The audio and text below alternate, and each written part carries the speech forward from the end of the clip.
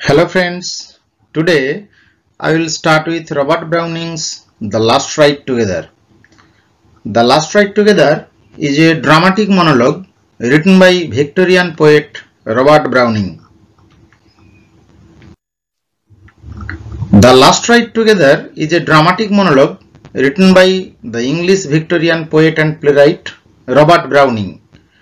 Though many readers take it as a love poem, যদিও অনেক পাঠকই এটিকে প্রেমের কবিতা বলতে পছন্দ করেন। Actually it shows the philosophical revelation of the poet on love and life success and failure unsuccessful in love the speaker asks his mistress for one last ride with him ফলে প্রেমে অসফল হয়ে, ব্যর্থ হয়ে এখানের বক্তা তার প্রেমিকাকে লাস্ট রাইডের অনুরোধ করেছেন। The poet's thoughts are expressed in the verses as the lovers begin on the ride.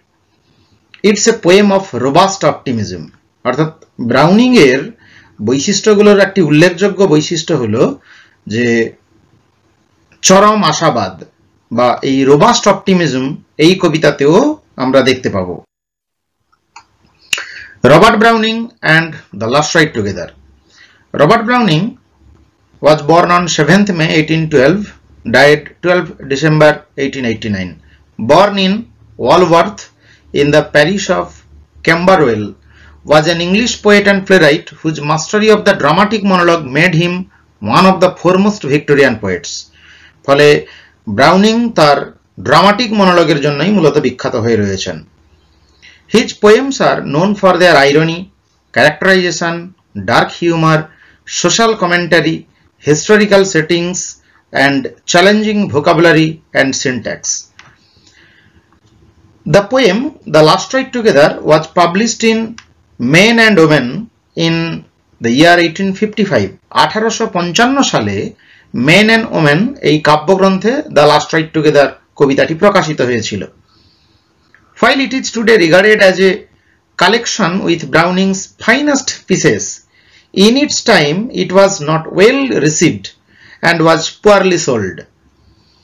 Browning published the collection after a five-year break when he was still recovering from the failure of his previous book. All the poems in the collection, like the present one, are dramatic monologues and are today regarded in high esteem. আমরা সবাই জানি Browning খ্যাতি পেয়েছিলেন পরবর্তীকালে কিন্তু একদম ক্যারিয়ারের শুরুতে তিনি তার অবস্কিওর রাইটিংয়ের জন্য একটু খ্যাতি অবনমন ঘটে, তার খ্যাতির অবনমন ঘটে। ফলে দ্য লাস্ট রাইট টুগেদার যে কাব্যগ্রন্থে প্রকাশিত হয়েছিল মেন অ্যান্ড ওমেন সেটা কিন্তু প্রথমের দিকে ভালোভাবে গৃহীত হয়নি পাঠকের দ্বারা।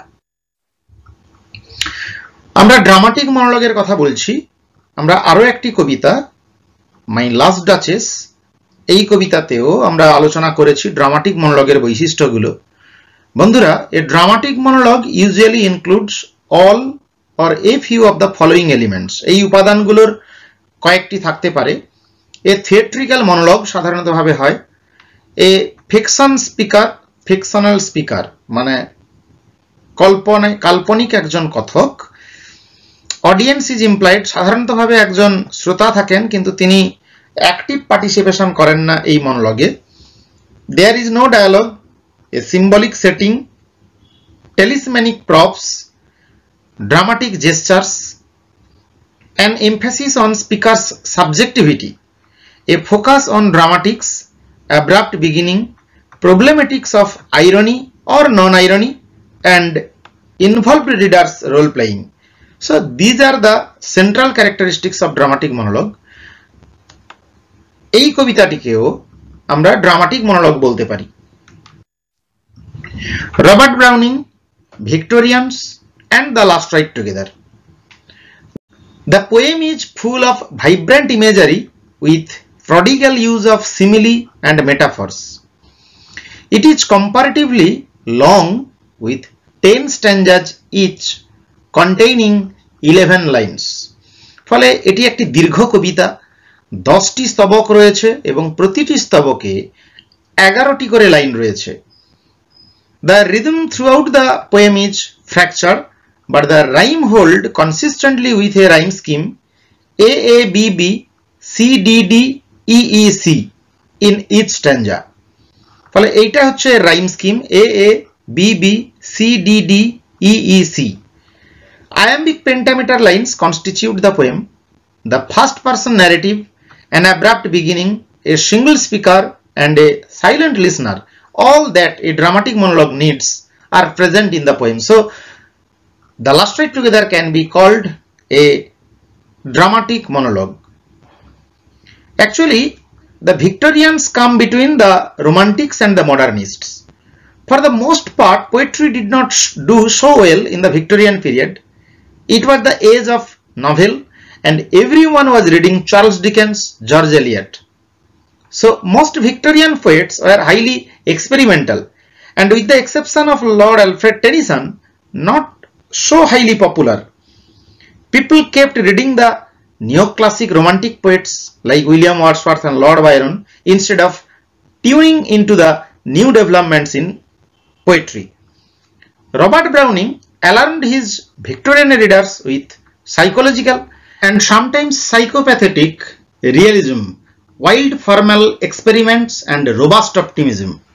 These qualities, however, are what makes his poems so attractive to today's readers who value the raw power of Browning's poetry more than some of the feel-good flowery romantic poems. As the poem progresses, it does become clear that this is no ordinary horse ride through gentle countryside, as the title indicates. The title is the last ride together. শেষবারের মতো একত্রে ঘোড়ায় চড়া কিন্তু এই ride বলতে যে ordinary horse riding এর কথা বলা হচ্ছে না, সেটা কিন্তু আমরা কবিতা পড়তে পড়তে পরিষ্কার this is a journey that takes place in heart and mind Browning taps into the mindset of the modern man The poem has received much attention over the years, especially with the regards to the possible psychosexual content. Some critics see Freudian symbols within the poem. The title in particular interpreted as a metaphor for the sexual act. The riding has double meaning. The ride may connote to the ordinary horse riding or it might have the psychosexual symbol. Robert Browning and his wife Elizabeth Barrett Browning were the most famous poetic couple of the age. Their publications became very popular and their life as lover poets was well known. They also traveled a lot and it was on one of these journeys that Robert Browning perhaps echoed the sentiments of The Last Ride Together. So, the very title The Last Ride Together and the matter presented in the very first part of the poem may hint at the fact that the autobiographical or semi-autobiographical elements are presented.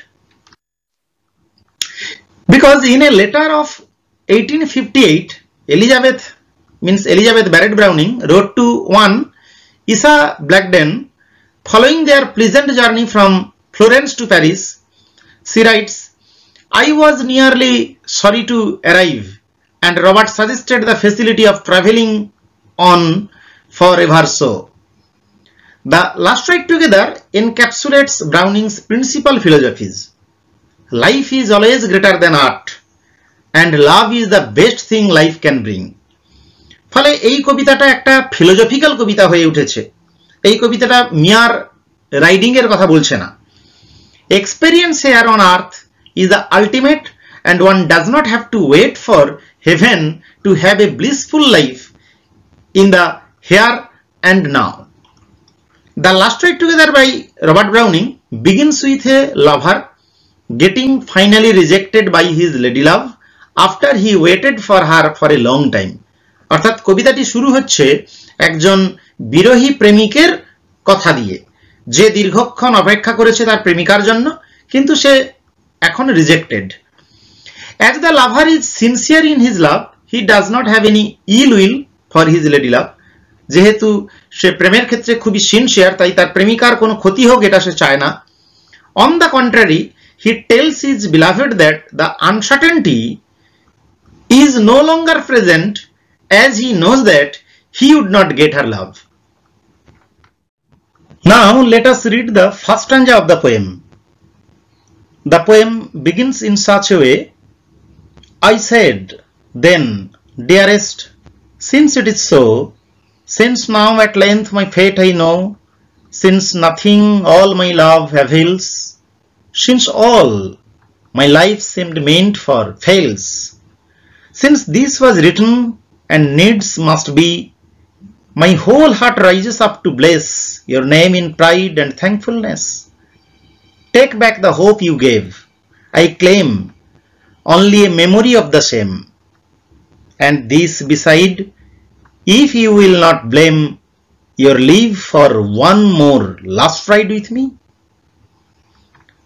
দেখো বন্ধুরা এখানে যে rhyme স্কিমটি ব্যবহৃত হয়েছে সেটা হচ্ছে A A show no অন্তমিলের উপর নির্ভর করে avails fails B B be must be এটা সি এই সির সঙ্গে মিল পাচ্ছি আমরা উইথ মি লাস্ট লাইনে bless thankfulness D D claim same blame E E E ফলে রাইম স্কিমটা হচ্ছে A A B B C D D E E C ফলে এটাই হচ্ছে এখানের রাইম স্কিম এগারোটি করে লাইন রয়েছে প্রত্যেকটা স্তবকে।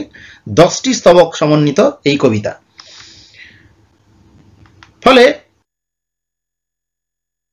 বন্ধুরা ফার্স্ট স্ট্যান্ডে আমরা পড়লাম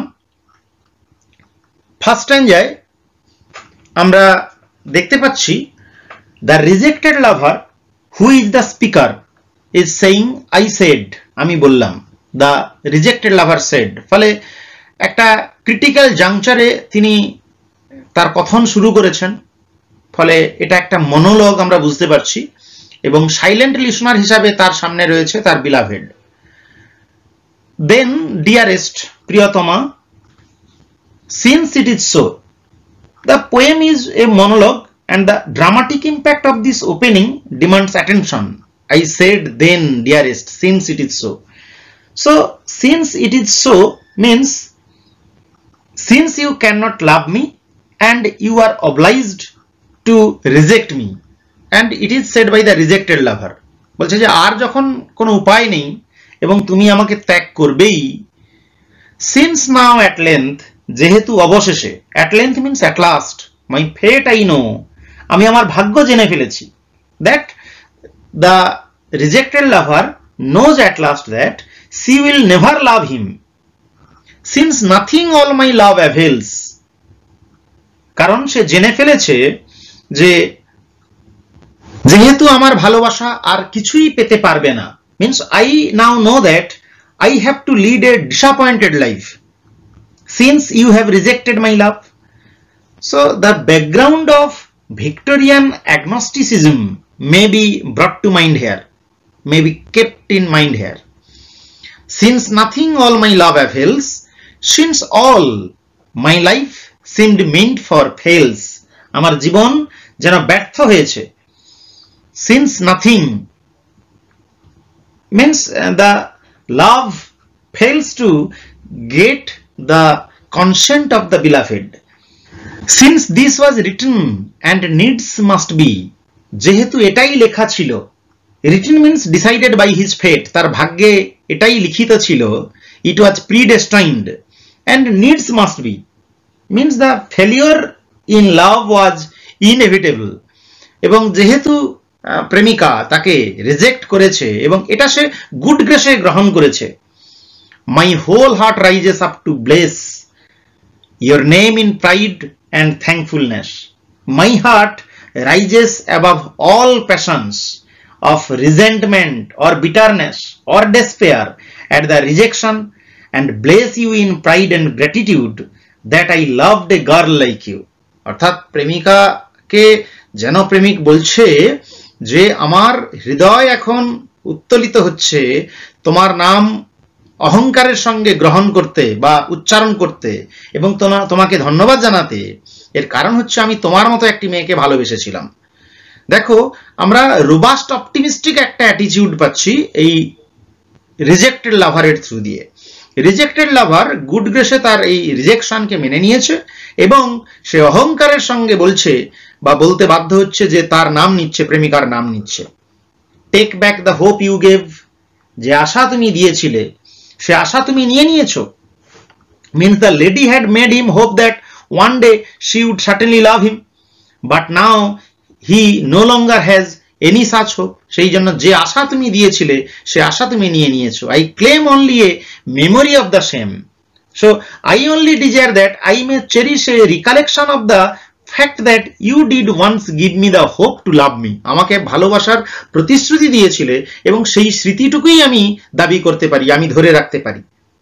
And this beside if you will not blame এবং যদি তুমি না আমাকে দোষ দাও if you don't consider it improper your leave your permission for one more last ride with me তুমি শেষবারের জন্য যদি পারমিশন দাও, আমার সঙ্গে পাশাপাশি ঘোড়ায় চড়বে।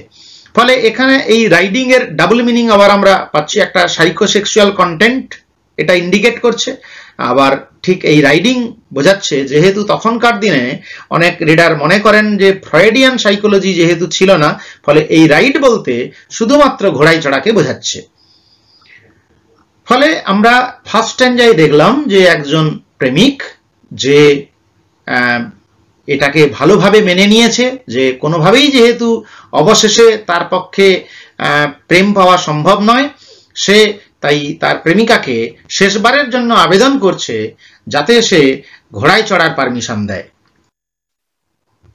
So in the first stanza the narrator blames the end of his romance on fate তাই ভাগ্যের উপরে সে দোষারোপ করছে। The speaker says the beloved's love was the most meaningful thing in his life তাহলে প্রেমিক বা এখানে বক্তা বলছেন যা তার প্রেমিকার ভালোবাসাই ছিল তার জীবনের সবচেয়ে একটা মিনিংফুল জিনিস। And after he has lost her love his life has lost all its meaning and significance সমস্ত তাৎপর্য হারিয়ে ফেলেছে জীবনের। Despite the failure neither the lover has any anger towards her beloved nor does he blame her for anything ফলে কোনো রাগও নেই তাকে কোনো দোষারোপও করছে না তার প্রেমিকাকে হি বিমন্স দ্যাট সে শুধু ল্যামেন্ট করছে যে everything he has tried has failed and it seems the end of his love affair is set or preordained, predestined. Despite this, he expresses his love and appreciation for the woman he had spent years with and blesses her name. He asks only her the memory of the time they shared together and one last ride with her before she goes. ফলে প্রেমিকা তাকে প্রত্যাখ্যান করে চলে যাওয়ার আগে শেষবারের মতো রাইড করবে তার সঙ্গে তারা একত্রে এটাই তার শেষ বাসনা বা শেষ কামনা.